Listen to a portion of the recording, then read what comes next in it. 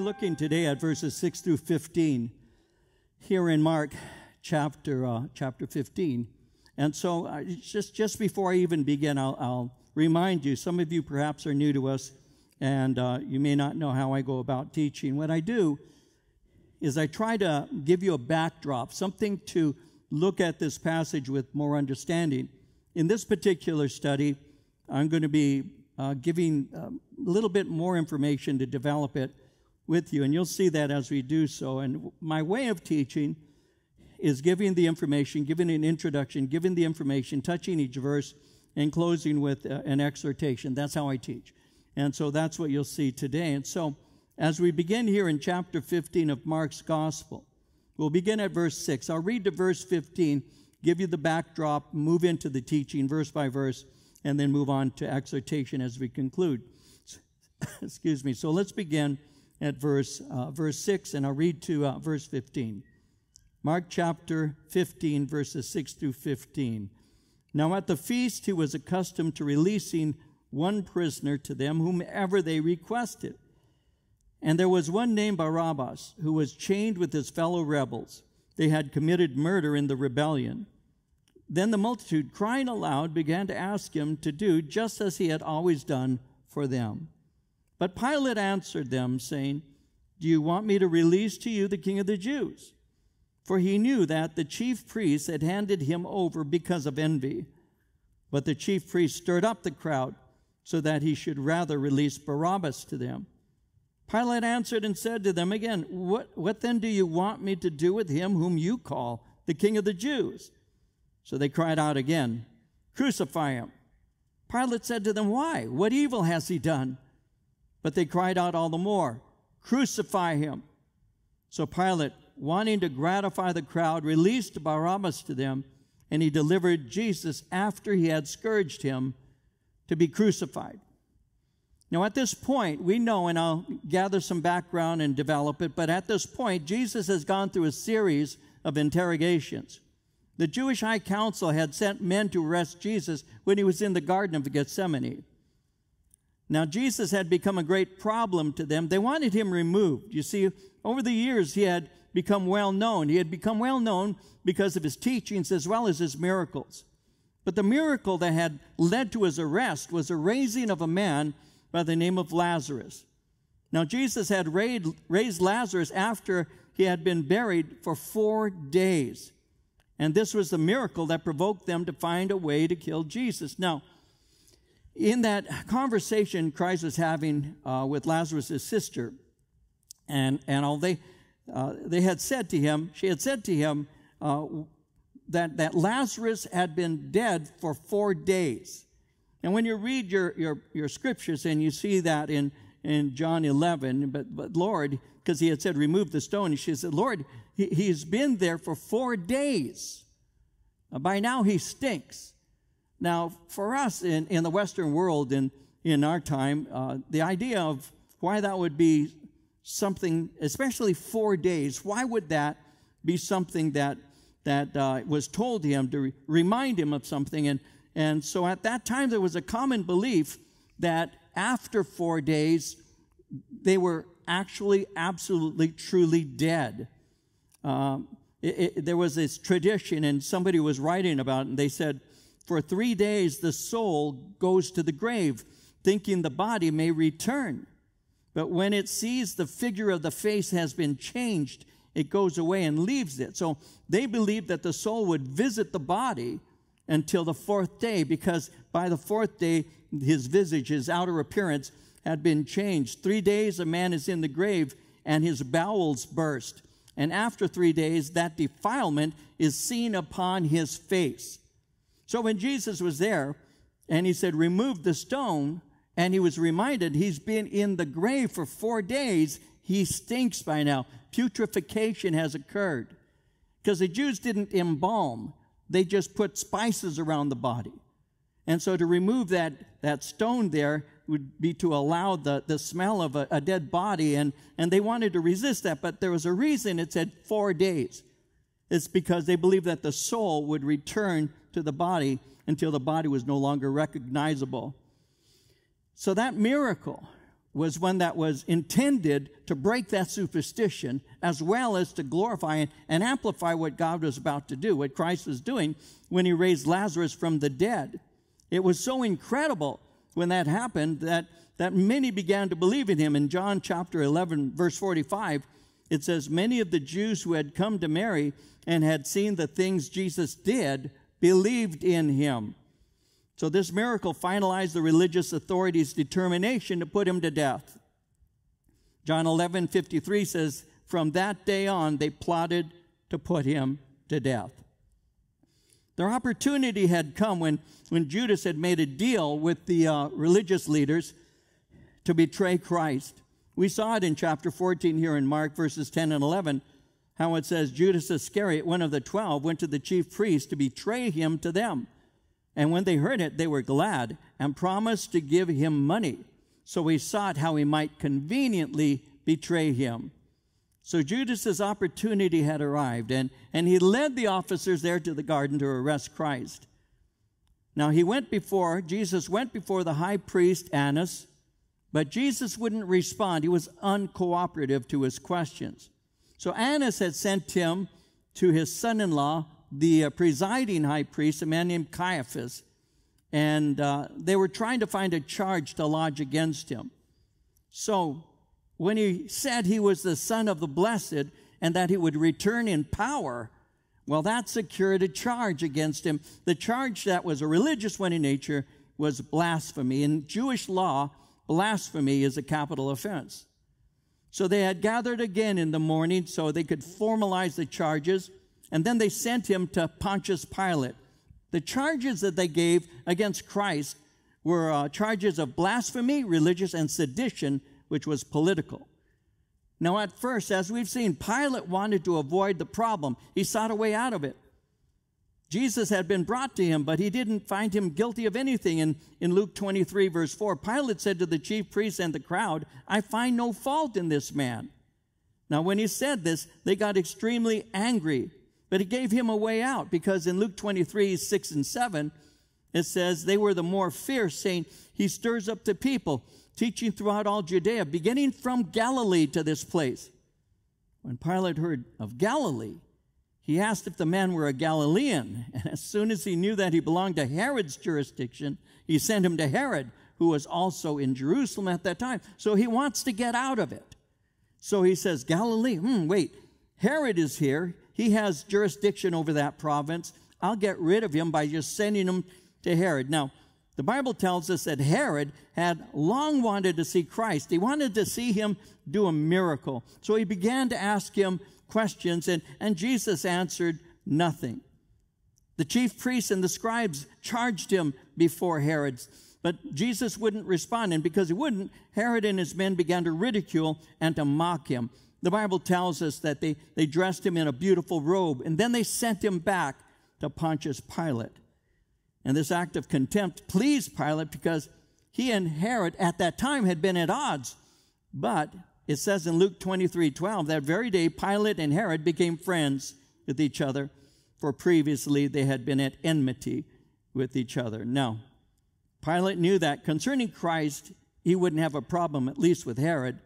In Luke 23 13 through 17, it says, Pilate, when he had called together the chief priests, the rulers, the people, said to them, You brought this man to me as one who misleads the people. Indeed, having examined him in your presence, I have found no fault in this man concerning those things of which you accuse him. No, neither did Herod, for I sent you back to him, and indeed nothing deserving of death has been done by him. I will therefore chastise him and release him, for it was necessary for him to release one to them at the feast. And so that's where we pick up right now, where he has sent him back. So in verse 6 here in chapter 15, it says, At the feast, he was accustomed to releasing one prisoner to them, whomever they requested. So there was a custom to do that. Now, we have no information on the origin of this kind of custom. It's believed that because Passover celebrated deliverance, that a release like this would be in keeping with the celebration of freedom. And there are those who believe that that may have been the origin. We don't know for sure, but one thing we know Pilate was more than willing to let Christ go. Perhaps he thought that they would ask for Jesus to be released. He was giving them an option. Perhaps they'll ask for Jesus. Well, it says in verse 7 and there was one named Barabbas who was chained with his fellow rebels. They had committed murder in the rebellion. Barabbas. Now, this is an interesting thing. I'll be touching on this uh, for a little while as I go through this uh, passage with you. But the name Barabbas is an interesting name. Bar Abbas means son of father, son of the father. The Hebrews will call you, like I would be, this is interesting, but I would be David Bar Frank. Frank's not a Jewish name, but that's what I would be. I'm the son of my father, whose name is Francisco. His name was Frank. And so David Bar Francisco. Now, Bar Abbas, Bar means son of, Abba, Abbas is father. Barabbas is son of a father. That's what his name means. We're going to see this in a moment. Now, Barabbas was a violent revolutionary. According to Luke 23 19, Barabbas had been thrown into prison for an insurrection in the city and for murder.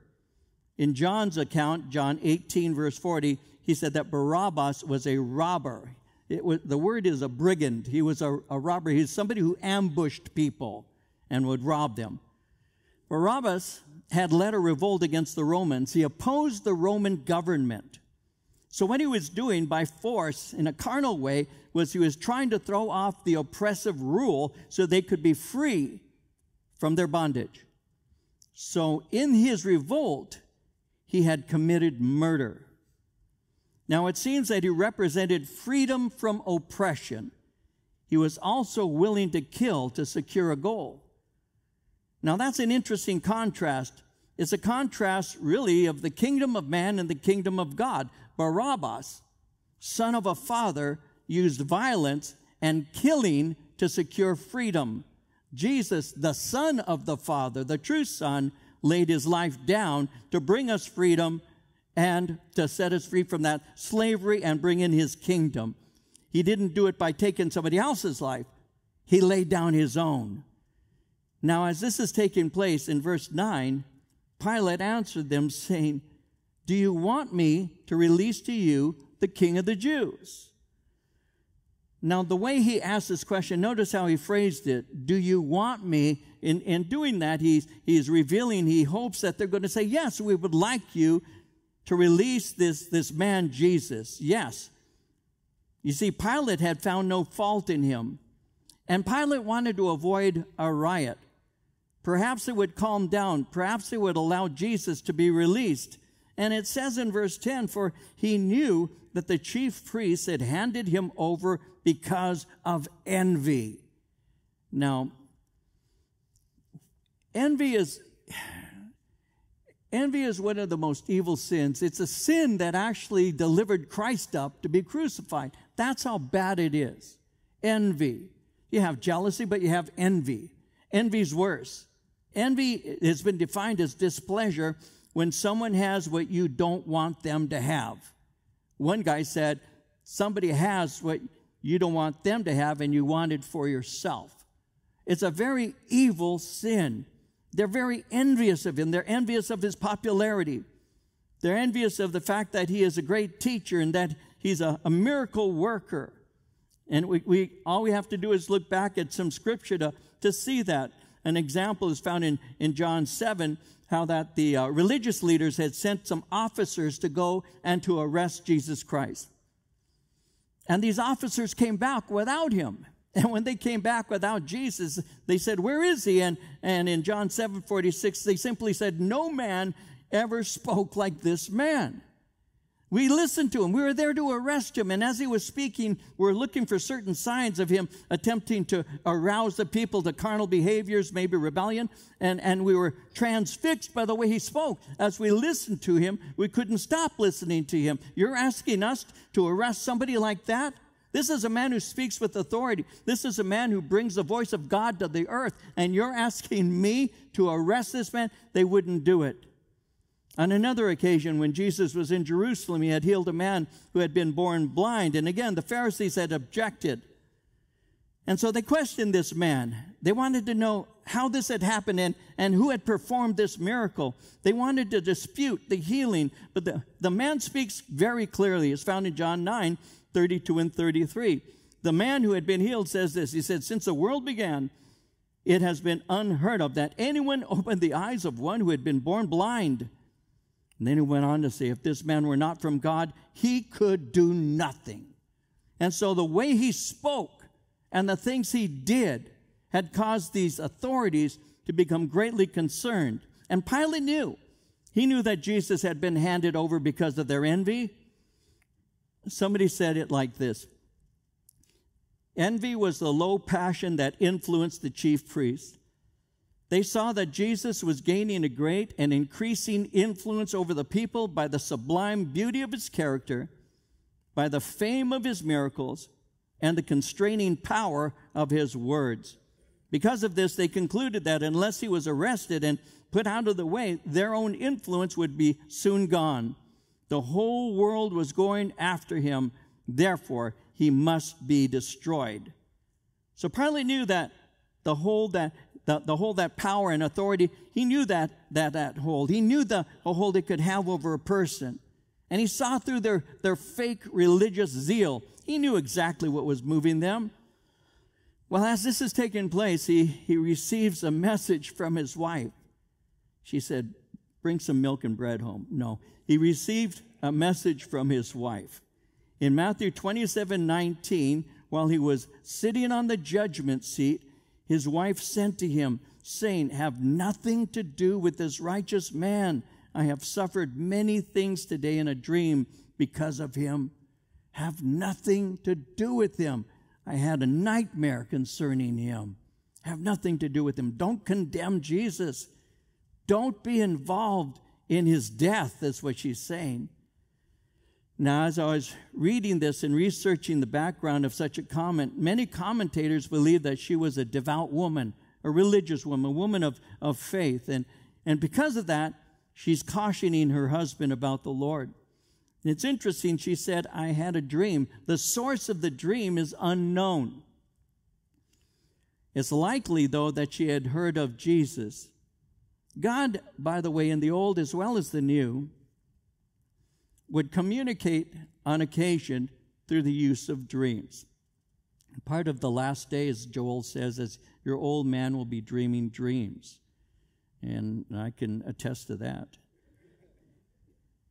Job 33, 15 and 16 says it like this In a dream, in a vision of the night, when deep sleep falls on people as they slumber in their beds, he may speak in their ears and terrify them with warnings. Well, this woman, Pilate's wife, approaches, I have suffered many things this day in a dream, have nothing to do with this righteous man. But as this is taking place, notice verse 11, the chief priest stirred up the crowd so that they should, so that he should rather release Barabbas to them. He's concerned that they're going to have a riot. There are a lot of of, of Jewish people in, in Jerusalem, it's the Passover. There are many people who have flooded into the city. It only takes a spark to, to start a fire of a riot. And I don't know how many of you have ever been around uh, a group of people that were being provoked into anger or were angry.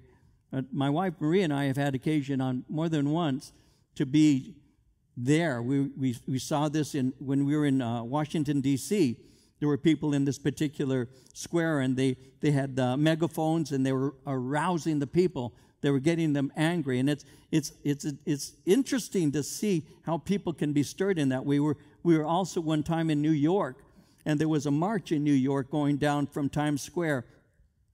Marie and i were in the room looking out the window because we could hear noise. We could hear the sound of a drum beating.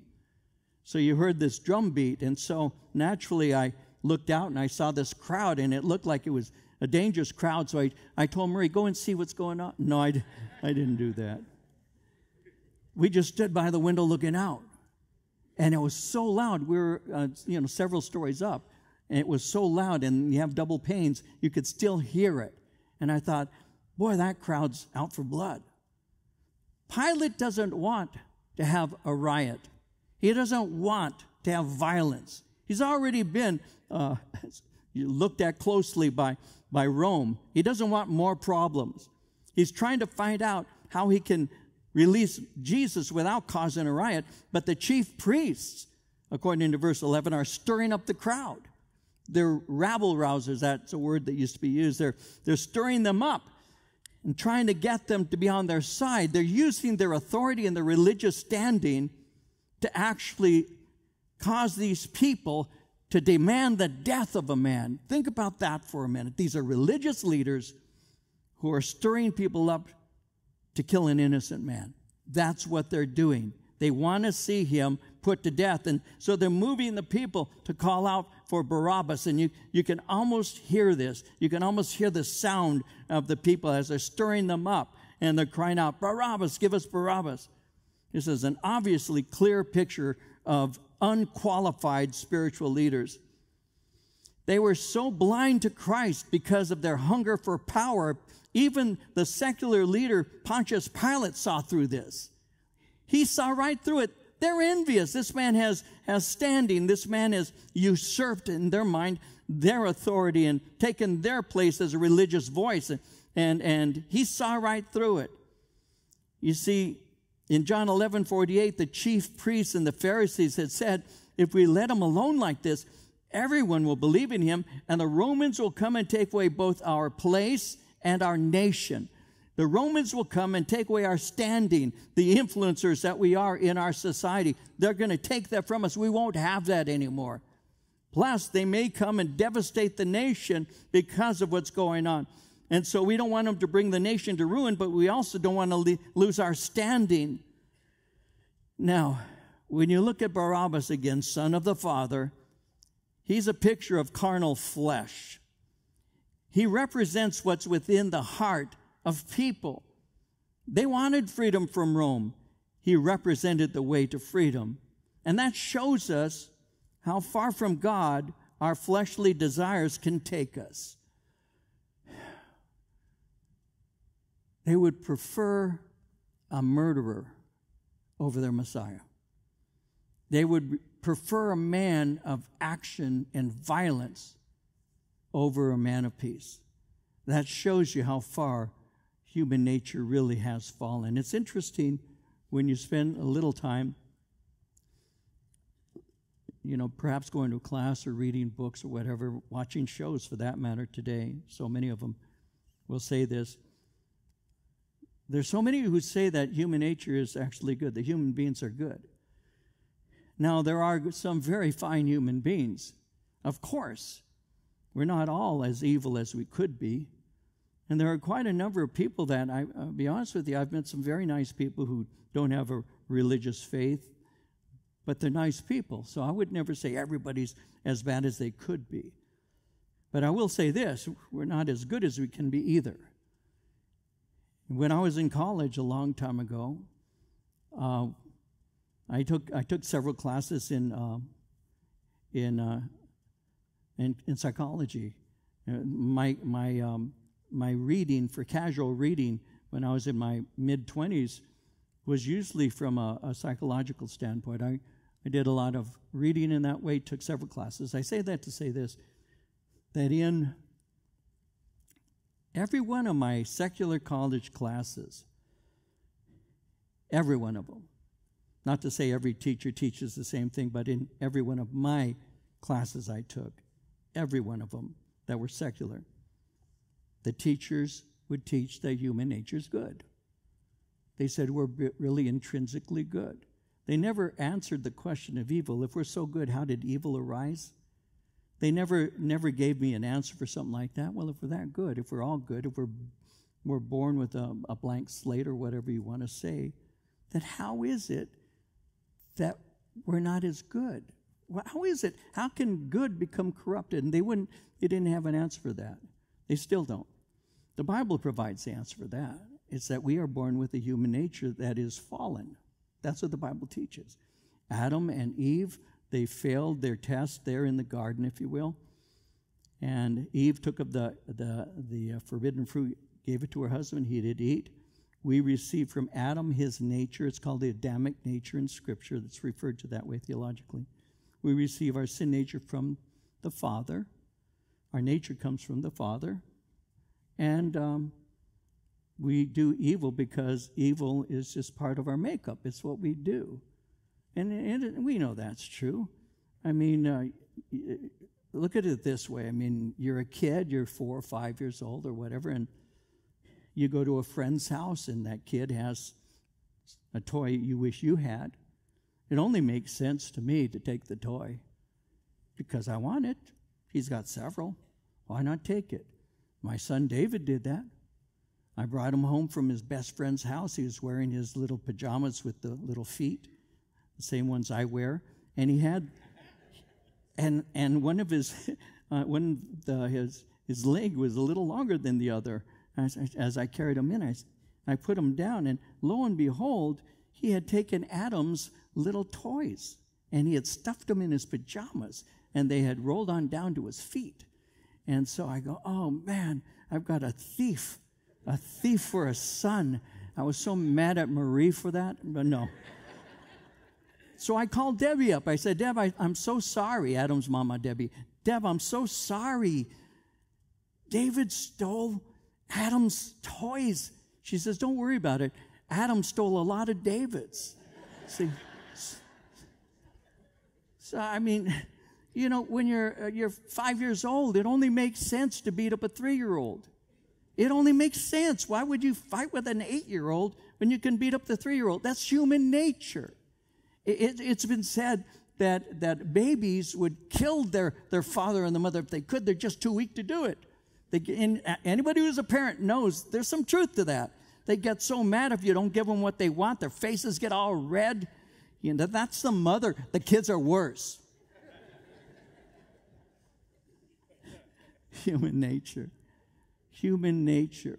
How can I argue that human nature is good if I don't take into consideration all the evil that occurs? How can I argue that? And so when people begin to argue and say, oh, we're really good, all you need to do is see what they did to Jesus. That's all you have to do. If they're so good, why did they want him crucified? And so Barabbas and their desire for Barabbas reveals their, their carnal desire for power and position. In verse 12, it says, Pilate answered and said to them again, Uh, what then do you want me to do with him whom you called the King of the Jews? Well, what do you want me to do with him? Now, it seems that Pilate at this point believes that Christ is innocent, but resists fighting for his release. And so, verse 13, they cried out again, Crucify him. We want nothing less than his death. Well, as they're saying that, verse 14, Pilate said to them, Why? What evil has he done? But they cried out all the more, Crucify him. They don't care about evidence. They want nothing less than his death. Luke 23, verse 23 says it like this They were insistent, demanding with loud voices that he be crucified and the voice of these men and of the chief priests prevailed. Matthew 27, 24 through 26 says, When Pilate saw that he could not prevail at all, but rather that a tumult was rising, he took water, washed his hands before the multitude, saying, I'm innocent of the blood of this just person. You see to it. And all the people answered and said, His blood be on us and our children. Then he released Barabbas to them and when he had scourged Jesus, he delivered him to be crucified. No amount of reasoning would prevail. This mob was out for blood. He had made a fair, even a proper decision, but they don't want justice. They want injustice. They don't care about evidence. They want death. Now, Pilate had chosen a Jewish ritual to demonstrate that he was not guilty of injustice. When you look at your Bible in Deuteronomy in the Old Testament, chapter 21, verses 6 and 7, oh, well, that portion of Scripture provides a hand washing ritual when judges can't render justice. The psalmist in Psalm 26, verse 6 said, I will wash my hands in innocence. And so there was a ritual. He took a Jewish ritual of hand washing to visually portray to them, I am washing my hands of this. That's part of where we get that phrase, he washed his hands of it. That's what Pilate was doing. I'm, I'm washing my hands of responsibility. Uh, I, I, I wash my hands in innocence. Now, he's trying to distance himself from responsibility. So by saying that, that Jesus is innocent, he, blames, he places the blame on the Jewish leaders. Well, what do they do? Well, the people cry out, His blood be upon us and our children. We're willing to be held responsible for the death of this man. So, verse 15. So Pilate, wanting to gratify the crowd, released Barabbas to them. He delivered Jesus after he had scourged him to be crucified. Pilate, wanting to gratify the crowd, released Barabbas. In Luke 23 24 and 5, 25, Pilate gave sentence that it should be as they requested. He released to them the one they requested, who for rebellion and murder had been thrown into prison, but he delivered Jesus to their will. Notice he released Barabbas and had Jesus scourged. Now Jesus had said this would happen in Luke 18:33. They will scourge him and kill him. So he delivered verse 15, he delivered Jesus after he scourged him to be crucified. Pilate was not convinced of any guilt on Jesus' part. He knew that Jesus had been delivered because of envy. So he offers the people a choice. He's asking them, Who do you prefer? Who do you want? He's offering them a choice. You can have Jesus or you can have Barabbas. It's up to you. Now, as this is taking place, he delivers Jesus up to be scourged. It's possible, because we'll look at this more next time we're together, but it's possible that he thought that this might touch them. It might cause them to have sympathy because the scourging, guys, is something that it's been called the living, living death. You see, at this point, Jesus had been ministering constantly.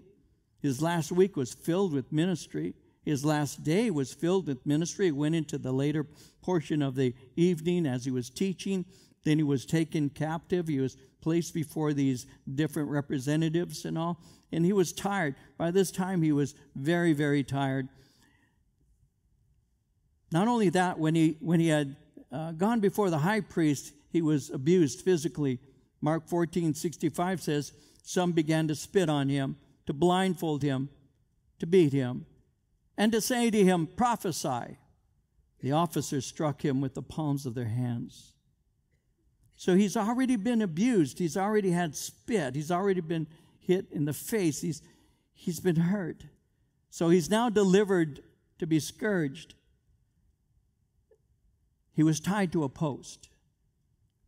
Some of us perhaps are aware of what scourging was, but this is the description of it. He was tied to a post with his hands over his head. So that opened him up on his back he was completely open and exposed. His face, his back, and his neck were all exposed. There were two men, they were, they're called lictors, they're torturers, and they took turns striking him from one side and the other. They were using a whip that had a short wooden handle and several straps. Each one of those straps were made out of leather and they were embedded with, with bits of sharp lead or with uh, sharp bones or spikes. So each stroke cut the flesh until the veins and the entrails were laid bare. One writer said, Often the whip struck the face, knocking out eyes and teeth. It ended in fainting and even in death. It was called the living death According to Jewish law, when somebody was scourged, they could only be scourged with 39 lashes. Jesus had no less than 39 lashes, and sometimes they would go more just to mock the Jewish legal system. As this is taking place, and you can almost, if you take a moment to think, You can almost hear the sound of a whip. You can almost hear the sound of it hitting human flesh. Being aware of the, of the sharpened bones or spikes, the ripping of the flesh, and the moaning and the groaning of Jesus. You can almost, in your mind's eye, just imagine what he was going through. Again, this fulfilled prophecy in the Old Testament, the book of Isaiah, chapter 50, verse 6 I gave my back to those who struck me, my cheeks to those who plucked out the beard. I did not hide my face from shame and spitting. They grabbed the face of Christ, and he had a full beard, as the Jews of his Jewish men of his day did. They grabbed his face and pulled out his beard. When my children were small, when they were learning to grow, uh, to walk rather, a um, couple of them I learned, but from this, what I'm about to share. But I used to wear a full beard. For a long time, I had a full beard. And so I would kind of be over the my babies. And you know how dads do. And the baby would be moving her hand, his hands, or whatever, and then grab my face. They would grab my beard. And they would, and I'd be, I'd go, whoa, and I'd pull back, and they would stand up by holding onto my beard. Yeah, it hurts. Even with a small baby, it hurt when they would grab hold and twist because you got to get a good, you know, good grip. You know, and they, and I, oh, I'd pull back and then mm, they're standing and, and I'm real proud of them for standing, but please let go of my face, right? So I learned a long time ago, and some of you, some of you ladies did too. No, some of you guys did too that that part of your face is kind of tender. I got in trouble, by the way, one time when I was uh, in New York. I was teaching at a, a friend of mine's church, an Italian fella, dear guy, and his wife. And I was talking to his wife and him, and we were visiting many years ago now. And I said to, they were both Italians, so I said to, uh, to him in front of his wife, I said, Do you know why Italian men grow mustaches? He says, No, I don't. I said, um, to look like their moms. And when I said that, that's when I discovered Italians can get mean, you know. And it wasn't him, he laughed, it was the wife. But anyway, grabbed the beard. In Isaiah 53, 4 and 5, Isaiah said this Surely he has borne our griefs and carried our sorrows. Yet we esteemed him stricken, smitten by God, and afflicted. But he was wounded for our transgressions, he was buried for our bruised for our iniquities. The chastisement for our peace was upon him. By his stripes we are healed. The apostle Peter in 1 Peter 2, 23 and 24 said it like this. When he was reviled, he didn't revile in return. When he suffered, he didn't threaten, but committed himself to him who judges righteously who himself bore our sins in his own body on that tree, that we, having died to sins, might live for righteousness, by whose stripes you were healed. When Jesus died, his death provided healing for our wounded souls. Because sin wounds us from within, Jesus' death provided healing for us within. He spiritually heals our broken hearts as He forgives us of our sins. I was reading something. I'll do more research on this. I'm going to do a little further reading on this. I don't want you to be misled by what I'm about to say, but I found it interesting, interesting enough to share with you. I was listening to a, a professor, a doctor, who was sharing something about memory, and I'm always interested in things related to memory. And he was saying that, that through scientific investigation and all, and this is a guy who has no reason to say this other than to say what is current. And perhaps I may have a, a prof- nursing professional, medical doctor, or whatever here. You can share with me if you'd like about this if it's incorrect. But I, I was reading, I'm only repeating what I actually listening to a, his lecture. And And he said, he said, We have discovered recently through various uh, means of research that, that not only does your brain uh, retain memory, we already know that, of course. He said, but there are actual memory receptors in your heart. I thought, how interesting is that? Memory, he said, you can actually store memories in your heart. Now, I find that very interesting for a lot of reasons. But one of them is that Jesus said, I came to heal the brokenhearted. I wonder if we were honest with God before God, just ourselves. Some of us are, are able to do so in front of others. Some of us are restrained by our own inhibitions to be able to do that for whatever reason. But if we were honest, I wonder how many of us could say that you have suffered with a broken heart. You have suffered with, a, with pain, a memory that is so deep that you can actually sometimes almost feel it in your heart. I don't know. I'm interested in this because when Jesus said, I have come to heal the brokenhearted, that may have a deeper meaning uh, than, than, than I before have come to, to understand. But I do know this I do know that his, his stripes that he was that he took for him uh, for us, took upon himself for us, by his stripes we are healed, was not a guarantee for physical healing. It was, it was a promise that he would heal your brokenness inside. I, I, I have, you know, things as you grow older, you're going to deal with things. And, and, and we just do. That's just part of growing older in, in this body that I have. But the one thing that God has done is He can heal you from here, from inside. Jesus, when He took upon Himself my sin, your sin, was also given me the, the remedy for a broken heart because he wants to and can and does heal us from the inside out. By his stripes, we have been healed.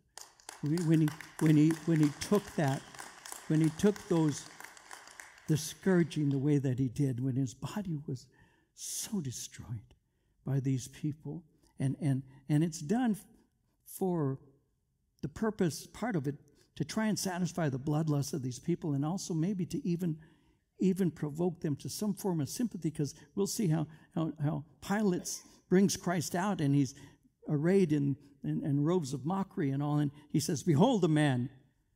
Look at him. Look at what he's done. Look at him. Behold him. All they wanted was crucifixion. Crucify him. Put him to death. But that's why he came. He heals our broken hearts and he takes away our sin.